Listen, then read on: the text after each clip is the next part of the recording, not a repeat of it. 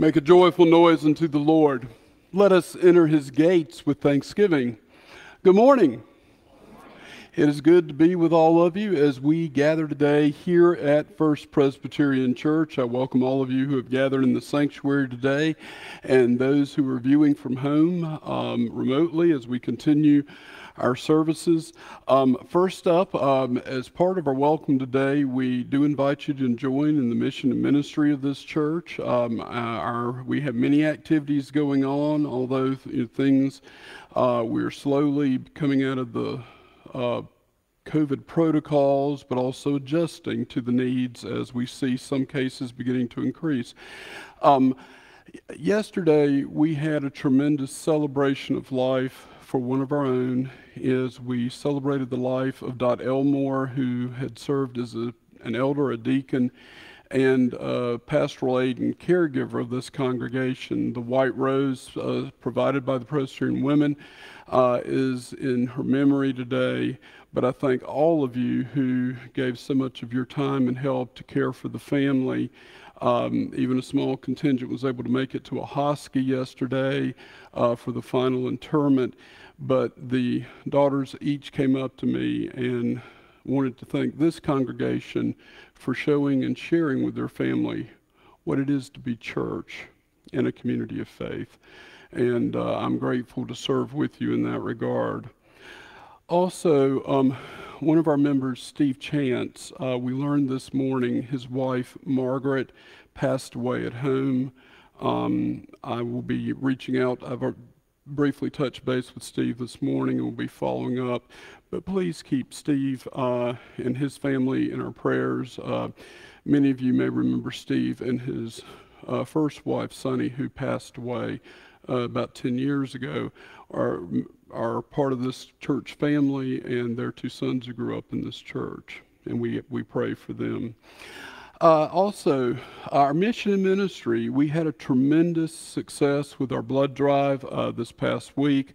Uh, I want to thank Joe James, who volunteered with me uh, to help coordinate and host the American Red Cross. Uh, we had 30 donors come in. We exceeded our goal uh, by a pint with 26 pints, but that impacts three times that many lives. So we continue to make a difference, especially in a time of great need. Are there any announcements from the congregation this morning? Anything you would like to share? As God's people, then, let us come into God's presence with our worship.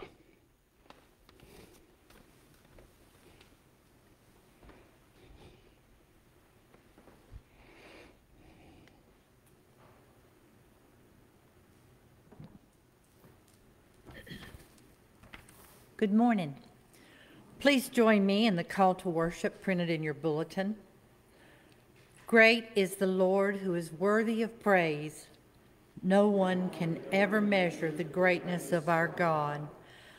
Let us worship God who is faithful in all things. We will sing of God's power and speak of God's loving kindness. O God, we proclaim you our ruler in all things and we will praise your holy name forever and ever.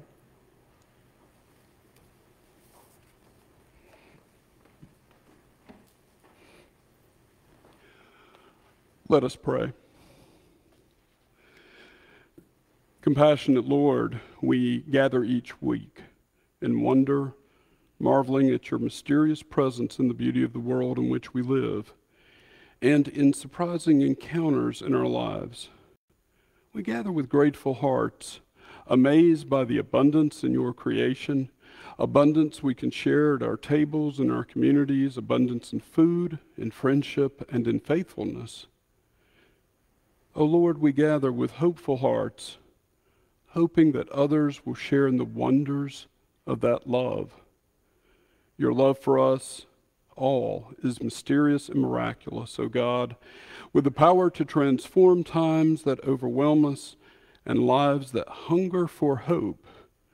We gather, trusting that you will move once again in our worship and open before us the new possibilities you create for all your people in Christ, the bread of life, bread for our journeys.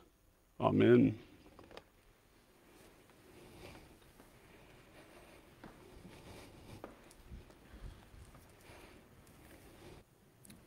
Please join me in the prayer of confession, first in corporate prayer, followed by silent personal prayer. Gracious and generous God, we gather each week to be fed by your love, trusting that you embrace each of our lives. We confess we are not nearly so generous with our love. We hold back what we have, fearful we lack enough for our own purposes and desires. We take advantage of opportunities for ourselves and forget to see if someone else is in need. Forgive us, O God, when our fear and doubt causes us to withhold your gifts of abundant love. Through Christ we pray. Amen.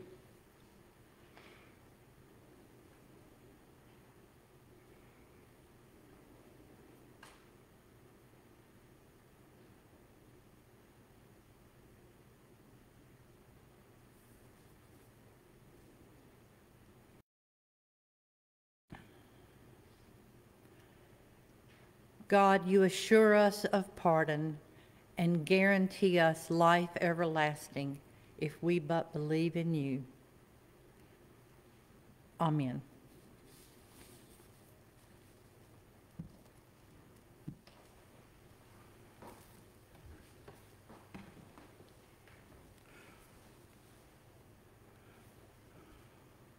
Paul declares to the church in Ephesus that Christ dwells in our hearts and through faith, for we are being rooted and grounded in his love.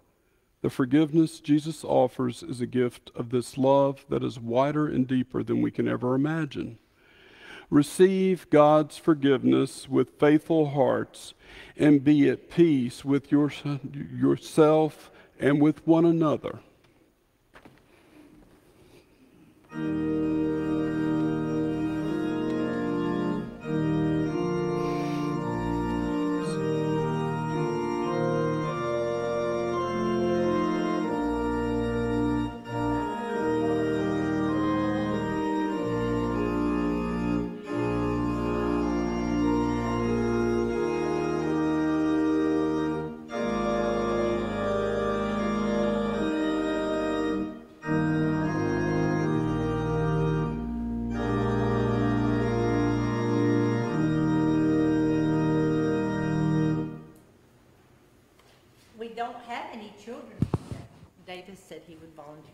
Child. But we have children at home, and so I'm going to a little bit about some seashells. I was at. Remember, if they're young at heart, you're always welcome to come down.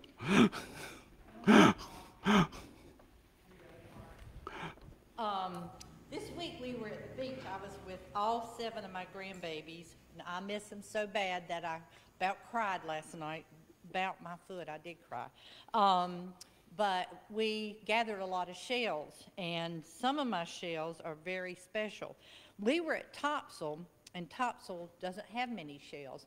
Instead, it has rocks.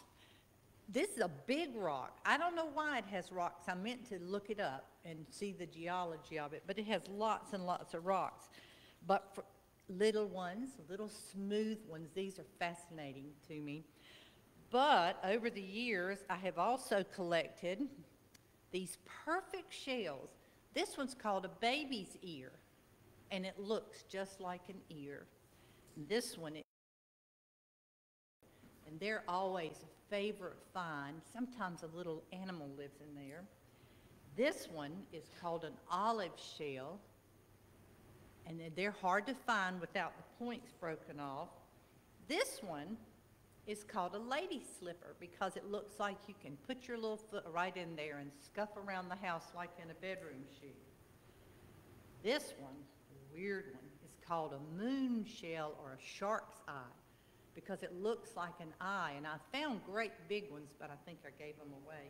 and this one is a little tiny whelk very, very hard to find. The thing about all of them is they're, they're perfect. There's not a chip, there's not a break, there's not a rough place. They're smooth and soft. They're just absolutely perfect. But my favorite shell that I found this week is this one that is imperfect. It is the remnants, the leftovers of a Scotch bonnet, which is the North Carolina state shell. And it has been worn away so much that all that's left is the little lip of it. And on this side, it looks so pretty. But on this side, it's hard. And when I found it, the first day, I put it in my secret spot in my beach bag so I could bring it home because this shell reminds me that God loves us whether we are perfect, whether we are imperfect, whether we're worn out, by rolling seas and beating sand, or whether we're just a pretty, ordinary piece of shell, God loves us.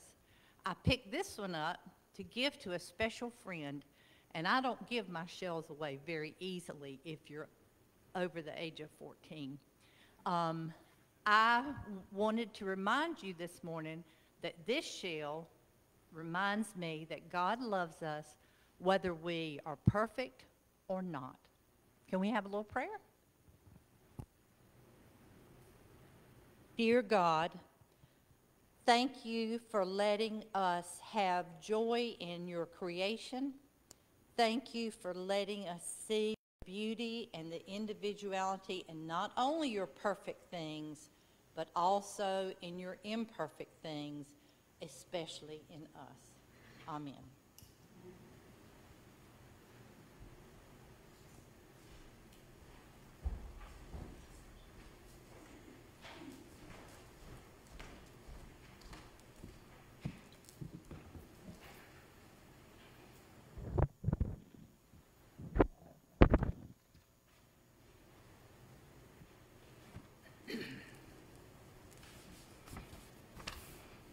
Our Old Testament lesson this morning comes from 2 Kings chapter 4, verses 42 through 44. If you'll follow along in your bulletin, a man came from Baal Shalishah. I Told you I had that this morning, but apparently I don't. Bringing food from the first fruits to the man of God 20 loaves of barley and fresh ears of grain in his sack. Elisha said, Give it to the people and let them eat. But his servant said, How can I set this before a hundred people? So he repeated, Give it to the people and let them eat. For thus says the Lord, they shall eat and have some left. He set it before them, they ate and had some left according to the word of the Lord.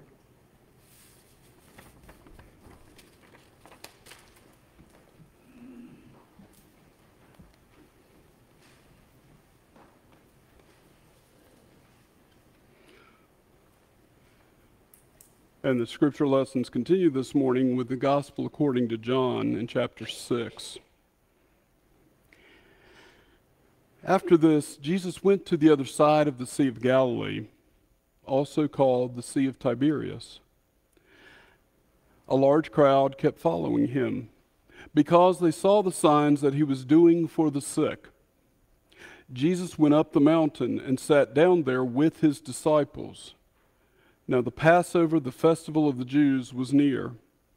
When he looked up and saw a large crowd coming toward him, Jesus said to Philip, Where are we to buy bread for these people to eat. He said this to test him, for he himself knew what he was going to do. Philip answered him, Six months' wages would not buy enough bread for each of them to get a little. One of his disciples, Andrew, Simon Peter's brother, said to him, There is a boy here who has five barley loaves and two fish, but what are they among so many people? And Jesus said, Make the people sit down. Now there was a great deal of grass in the place, so they sat down, about 5,000 in all. And then Jesus took the loaves, and when he had given thanks, he distributed them to those who were seated, so also the fish, as much as they wanted. When they were satisfied, he told his disciples, Gather up the fragments left over so that nothing may be lost. So they gathered them up, and from the fragments of the five barley loaves left by those who had eaten, they filled twelve baskets. And when the people saw the sign that he had done, they began to say, This is indeed the prophet who is to come into the world. When Jesus realized that they were about to come and take him by force to make him king, he withdrew again to the mountain by himself. When evening came, his disciples went down to the sea, and they got into a boat, and they started across the sea to Capernaum. It was now dark, and Jesus had not yet come to them. The sea became rough because a strong wind was blowing. When they had rowed about three or four miles, they saw Jesus walking on the sea, coming near the boat, and they were terrified. But he said to them, It is I, do not be afraid. And then they wanted to take him into the boat, and immediately the boat reached the land toward which they were going. This is the word of the Lord. Thanks be to God. Let us pray.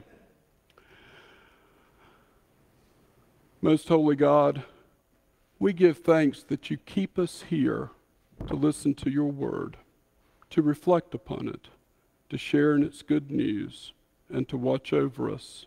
Here in community, we seek to discern your word together. Let us learn humility at the throne of grace, and we ask for your blessing in Jesus' name. Amen.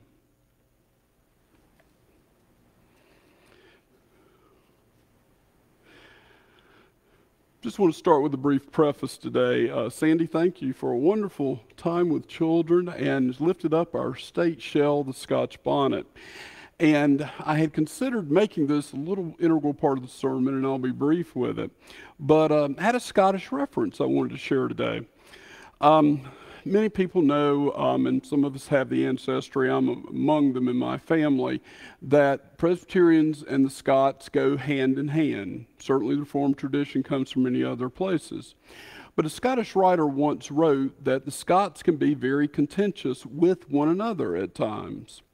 And uh, it was no more evident uh, in a recent uh, Acorn BritBox show my mom and I discovered while we sit in the evening and we're, we're processing about the day Hamish Macbeth, fictitious story about a somewhat unorthodox policeman in a small Scottish village. And one of the things about the village is it's a lot like church.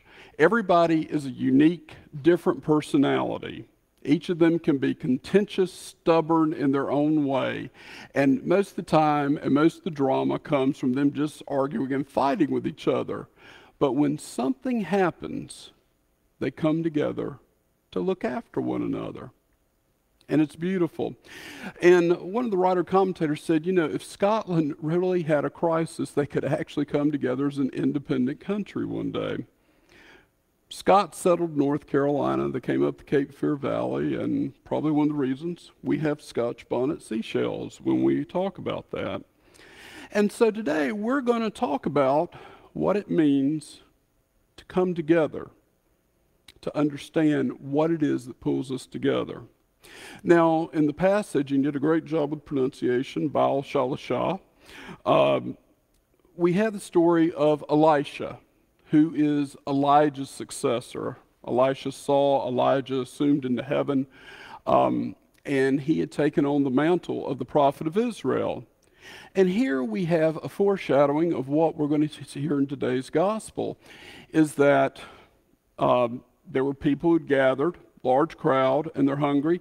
And what they had was much more than what we hear in the gospel story. But we have 20 loaves of barley and fresh ears of grain in the sack. And the word of the Lord comes and says, Give it to them. And there's doubt expressed. I would express it, I'm sure you would too, in saying, this is not going to go around. I traumatized uh, mindful yesterday's um, gathering, and by the way, Joy, thank you for coordinating all the lunches and everything with that. But uh, one funeral, I invited those who were in attendance to come to the reception. And I understand I panicked. One of the Presbyterian women says, We don't have enough for all those people. But we did. We always made do. And um, in, in that sharing, that somehow God would provide. And this is what happens here. They give a limited small amount, but somehow what is needed is provided and with leftover. It's an analogy for God's grace. So we come into this story today, and reflecting on last week, I, I did a little preamble about twofer, buy one, get one, BOGO. And uh, so we come back to that today just briefly. So, what we've discovered in my house, um, as some of you know, uh, my mom is preparing possibly for a procedure uh, in next month or so and week, and um, but we've been trying to organize things so we're ready for dealing with the problem at hand. And we have discovered um, her somewhat disorganized son at times that I had when those buy one get one moments the Comet that I had been searching for all over the house, I have three or four cans. We got those all together now. When Dawn detergent was on sale, I would buy one, get one free. I've got three or four bottles of that. I've just, I'm stocked up. But now that we've got it organized, we can see what we've got and batteries. Now, I'll make a confession. It's not trying to hoard or anything, but when you grow up in Hurricane Alley, growing up on the coast, you have to be prepared. And let me assure you, during the great toilet paper, paper towel crisis of 2020, I was prepared because you never know when the storm will descend upon you. Twofers, buy one, get one free, often comes in handy, so long as you can find it and know where to access it. So, coming to today's gospel lesson, we have a two for one story. But this is a little different. It's as if you buy one thing, but the second thing that you get is not the same as the first. And that's the part we're going to break apart this morning. As we want to engage this gospel and hear what Jesus is trying to teach us, what God is showing to us, we're dealing with an issue of the power of God being revealed and understood for what it is. That's the feeding of the 5,000. It was so important to the gospel writers that it is included in all four gospel accounts. The wedding in Cana, water into wine, that's only in the Gospel of John. But feeding 5,000 people with fish and loaves that one boy had in a basket, that's in all four Gospels. There were lots of witnesses, lots of people remembered it, and everybody saw what was going on. And we had a revelation of the power of God. But the problem was, and this is where that two for one comes in, we've got the power, we've got the material gift provided for us, but then comes our expectation. Hey, this Jesus has got it going on. He is the prophet. He is the one that we wanted to come, the Messiah, the King. But the expectation is this according to our own definition, our own needs, and our own expectations. This case, the two for one is actually a two sided coin, a double edged sword. There's a kind of light and darkness to it. Indeed, the story ends up in darkness with a revelation nobody's quite prepared to receive. But see, the people are hungry, not just for the fish and the loaves, which they have in abundance and are fed with more left over. That's easy for God. He who made, the one who made creation and all that is in it, our material needs are always met in a way beyond what we could hope or dream. is available. No, they're hungry for something else, probably like many of us are hungry for in this time. We are hungry for community. We're hungry for our traditions, our way of doing things.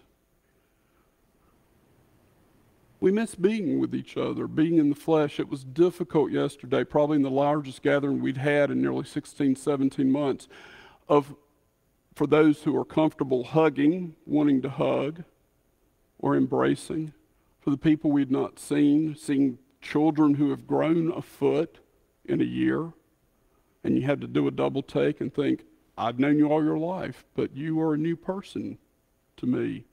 There have been many changes and transformations, not just for the youth, but for all of us and for our church. These are our expectations. These are our wants. Some of those wants are, I just want things the way they used to be. But everything changes. I'm not telling you anything new there. With time, everything changes. And in the fullness of time, Jesus is coming to the world, and everything is going to change, and the world is being turned upside down. The kingdom they seek, the kingdom, the Messiah that will overthrow the Romans and throw them out of Judea, that's not what Jesus is here to do. You see, even the Pharisees and the Sadducees had Jesus been willing to conform his message and the power of God to their will, they'd been on board with this Jesus of Nazareth and his good news because that would have been good news for them. And their power and their control, their micromanaging of the way things ought to be and should be and should look. But none of us have that. The kingdom of God is not of this world. So he's fed the 5,000 with food left over, and as evening comes, he withdraws again to the mountain, lest they make him a king in their own image. There's a popular book on the New York Times seller list, Think Again. It reflects, and John uh, Booker, I want you to pay attention to this. It's a book by psychologist Adam Grant, and John and I have shared this, or John shared it with me, about we don't know what we don't know. And the book is popular right now because it doesn't tell you how you should think or what you should think, but to consider why you think the way you do. So, whatever your religious belief, your political persuasion. This book provides beautiful insight. But this past week, a child I baptized when he was no higher than that, but now as a battalion commander in Fayetteville of a fire department, he shared an insight into the gospel and into this message today. This double edged sword, this two sided coin, this two for one embrace the gospel. And it comes from this book, Adam Grant, that he was reading. Humility, our Christian virtue, our Christian gift, humility drives doubt, which fuels curiosity. It motivates discovery and reinforces humility. As Christ emptied himself, even to the point of death, to be raised upon the cross. You see, just like clans of Scots not getting along until something really comes along that they have to make a difference. A church and its own members, our community and the squabbles we get into. The other side of that is, unlike humility, stubborn pride leads to conviction. And that's where Grant goes on in his book. Stubborn pride leads to conviction. We fall victim to confirmation bias. That is, seeing what we think should be there, and desirability bias, seeing what we want to see. That leads us to validate whatever truth that we think we know and feel even more proud of our ignorance. humility and pride.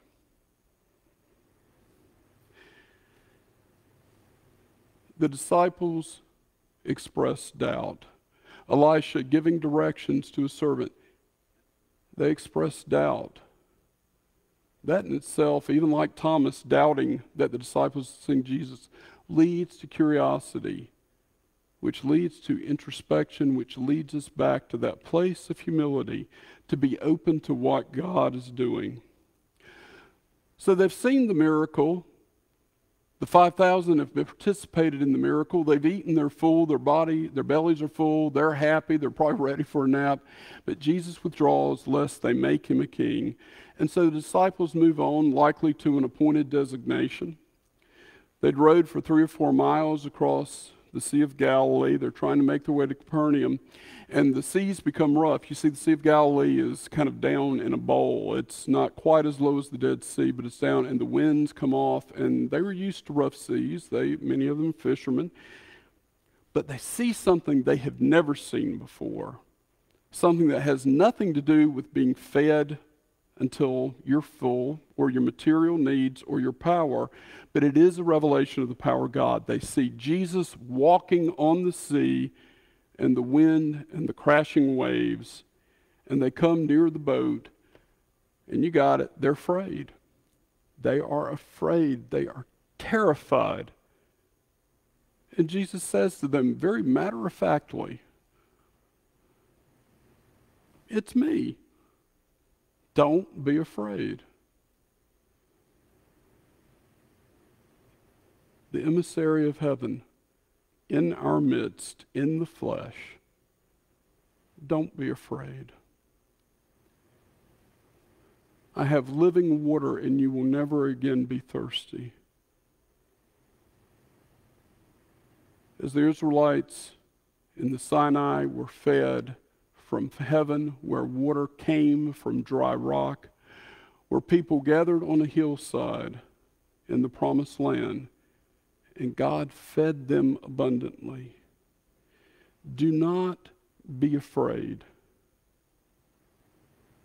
The disciples wanted to take him into the boat, and as they did, the boat immediately reached the destination when they embraced Jesus for who he was. So, what we've heard this morning is not necessarily about fulfilling all the needs that present themselves. Here we have a two for one story the material, the real, the flesh, the earth, but then we have the power of the Spirit, the one who made the waves and the wind and the cosmos themselves. The second part of the gospel is this lesson that once again we too are called to take Jesus into the boat, to accept him and with the message that he proclaims to us.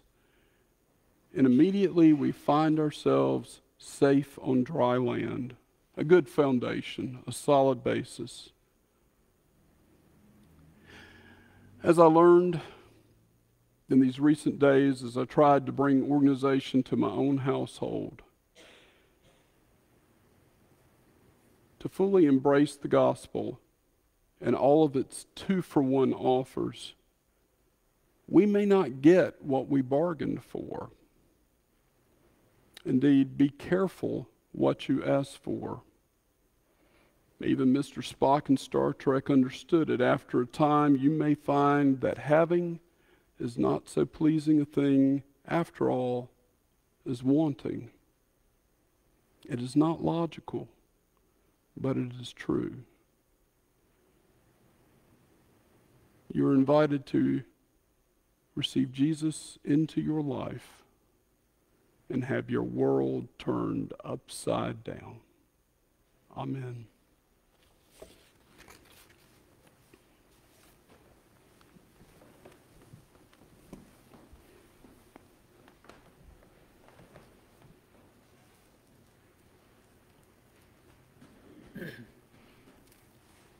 Please join me in repeating the Apostles' Creed, our statement of faith. I believe in God the Father Almighty, maker of heaven and earth, and in Jesus Christ, his only Son, our Lord, who was conceived by the Holy Ghost, born of the Virgin Mary, suffered under Pontius Pilate, was crucified, dead, and buried. He descended into hell. The third day he rose again from the dead. He ascended into heaven and sitteth on the right hand of God the Father Almighty. From thence he shall come to judge the quick and the dead.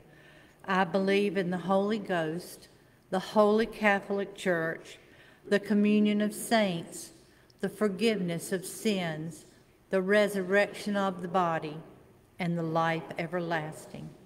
Amen.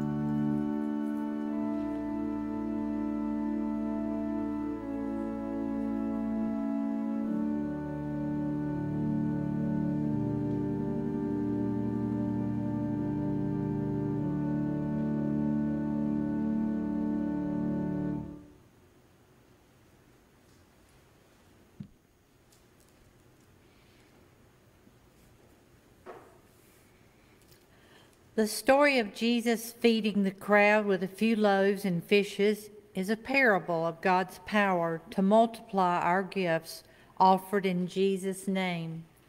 So make your offering to God as you are able and trust that God will create abundance from what we have to give. God of abundant love, we offer our gifts to you willingly Yet sometimes we wonder what they can achieve in a world of great need. Bless our gifts and multiply them in your love. Surprise us with your power, working in us and through us to accomplish worthy things in the name of Jesus Christ, the bread of life. Amen.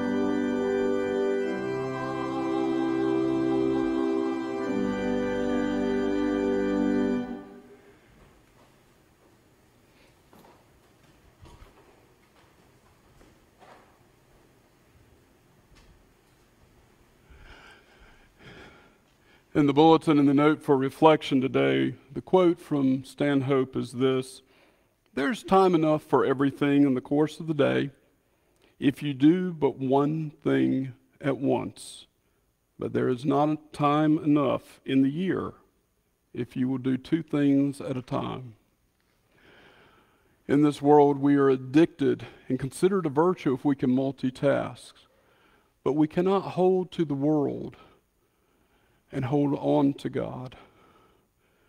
Let go of power, of human wisdom, of even knowledge, that you may receive with grace the hand of God which sustains us in all things, and all the others, power and blessing and abundance and wisdom, will be given to you in overflowing measure. I charge you now to go into the world to carry the good news of Jesus Christ. May the Lord bless you and keep you. May God be kind and gracious unto you. May the Lord look upon you all with favor and give you peace now and forevermore. And together as the children of God, we say, Amen.